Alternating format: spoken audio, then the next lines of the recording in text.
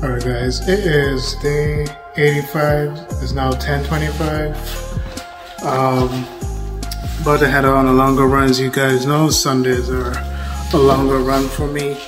Um, so I'll update you on how many miles I do when I get back. So I'll see you then. Hey y'all, so I just got back from a 12 mile run. It took me an hour and 50 minutes, thereabout. Um, at a 914 pace.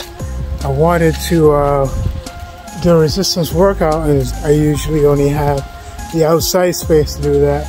But if you can tell, it's raining, right? So I don't think you're gonna be able to do that. So what I'm gonna do, I'm gonna stretch. I guess a breakfast afterwards, so I'll see you then.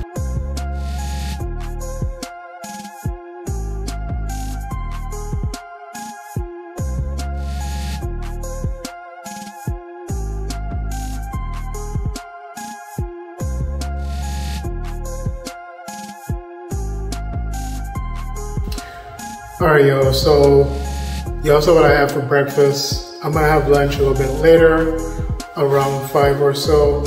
Um, for lunch, I'm gonna have some green lentils. I'm gonna have some mashed potato.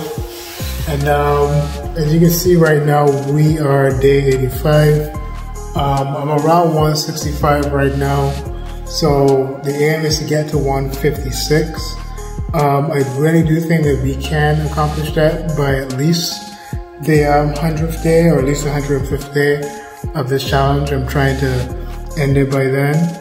So that's what I'll be pushing for. And, um, you know, if you have any tips that you can suggest as well, I'll take it as well. Um, but I'll be continuing to give my tips and letting you know what's worked for me.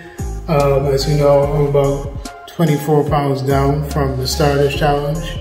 So I'm really happy with that. Um, but we're still pushing for that aim of 156, um, and then we really start to, um, you know, tone up and bulk up. So uh, that's about it for day five. I'll see you guys for day 86 tomorrow.